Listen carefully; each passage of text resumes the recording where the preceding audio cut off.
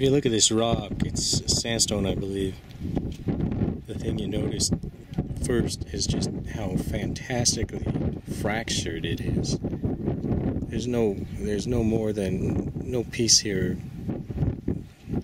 is bigger than a, a couple feet, maybe that isn't run with cracks. Look here, look how fractured all of it is, and that's not surprising when you look at the location. It's getting kind of windy here. Let me turn this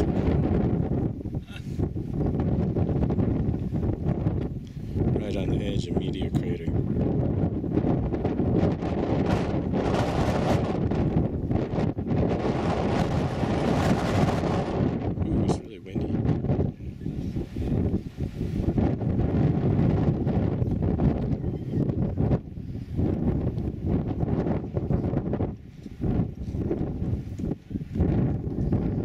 see that the rock on the edge of the crater is pulverized almost. It's got so many cracks in it. Shocked. They say it's been shocked, impact shocked. It's the lights. It's the lights. The lights.